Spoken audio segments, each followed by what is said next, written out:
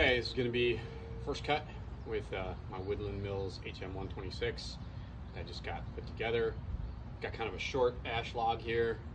It's held up with 2x4s because it's too short to span the bunks, but I want to make a couple test cuts on a log that I don't care that much about before I start to experiment with, with bigger stuff.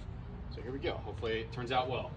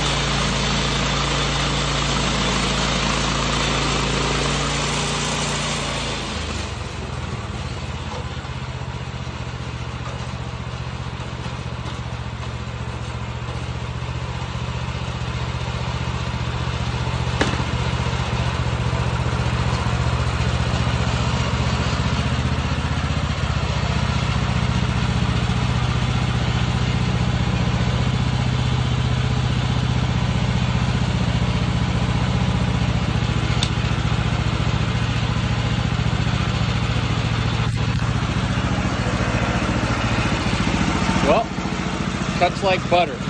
Beautiful. I'm going to go ahead and lower it down and uh, give it another shot.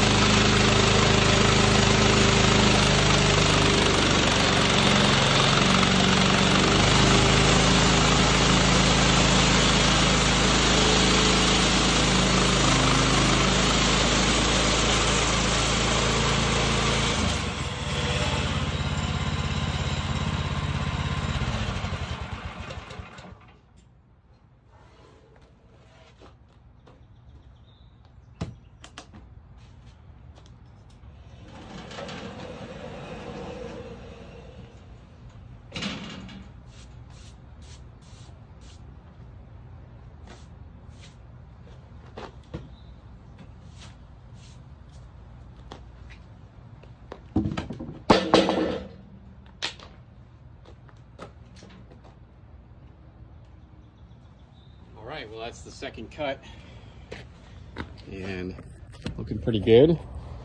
Had to make a couple little adjustments in between cuts, but got two nice pieces of ash. Um, they're not beautiful, but I'll use them for something or I'll, I'll cut them up into boards and use them to make something. Looks like we're getting a little bit of a little bit of crotch figure there. So who knows, maybe we can make a small table out of this. Anyway, uh, gonna keep cutting.